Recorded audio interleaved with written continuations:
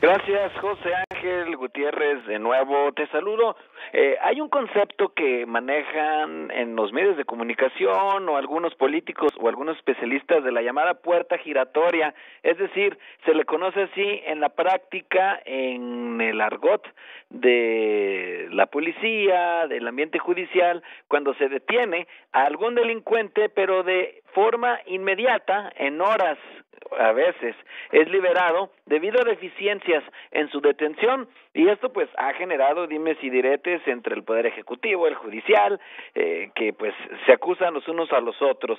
En el caso de las detenciones es muy importante que estas se realicen de acuerdo a los parámetros del sistema de justicia penal acusatorio y pues en este sentido el municipio de Zapopan es el que más detenciones válidas tiene esto de acuerdo con estos parámetros eh, de la norma y se ha logrado gracias a la capacitación constante. Así lo señaló Roberto Alarcón, comisario de seguridad de Zapopan, quien eh, incluso pues utilizó esa frase que la puerta giratoria se ha eliminado en Zapopan y esto lo anunció al arrancar un nuevo ciclo de capacitaciones por el tercer aniversario de la unidad jurídica y de seguimiento de la comisaría de Zapopan, que es la que ha logrado que los elementos estén capacitados al grado de que tengan un alto porcentaje, señalaron, de detenciones válidas. Escuchemos lo que dijo al respecto Roberto Alarcón, comisario de seguridad, sobre esto, este caso de éxito que ellos mencionan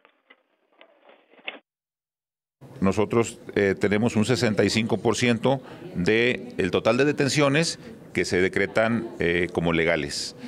Bueno, el tema de una detención legal o ilegal tiene que ver con eh, la forma en que a veces el policía hace su informe policial homologado o efectivamente la forma de la clasificación de la flagrancia, por ejemplo, también. Este 65% de detenciones son de un universo de 770 carpetas de investigación que se derivaron desde que se implementó el sistema de justicia penal acusatorio. Repetimos, esta es la cifra de Zapopan.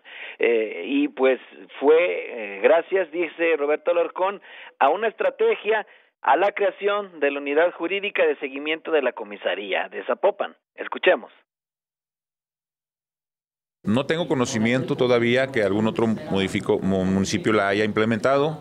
Eh, nosotros en reiteradas ocasiones les hemos, eh, les hemos ofrecido asesoría para que las integren. No hemos, reitero, no tengo conocimiento de que ya la hayan integrado.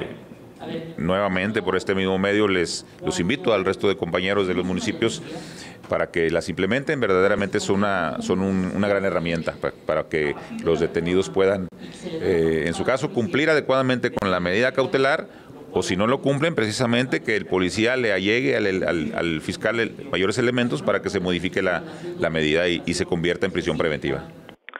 Como parte de estas capacitaciones en el festejo del tercer aniversario de la creación de esta unidad jurídica y de seguimiento eh, realizada en el auditorio de la Comisaría General de Seguridad Pública de Zapopan, se realizó una jornada de conferencias. La charla inaugural la impartió el magistrado Daniel Espinosa Licón, decano de los juicios orales en Jalisco, por cierto, porque él fue uno de los eh, primeros jueces que en el sur del estado comenzó con este sistema, después se convirtió en magistrado magistrado, así que de esto charlaron los elementos en esta en estas jornadas que continuarán hasta el día de mañana y pues ahí está este dato que aporta eh, el comisario de Zapopan respecto a la efectividad en detenciones de este municipio de la Exvilla Maicera. El reporte. Te agradecemos, Julio. Gracias. Muchas gracias. Continuamos. Así es, avanzamos y el tema que hoy está a su consideración pues es precisamente a un año del triunfo de Andrés Manuel López Obrador como presidente y a seis meses de su gobierno, ¿cuál es su punto de vista? ¿Cuál es su postura?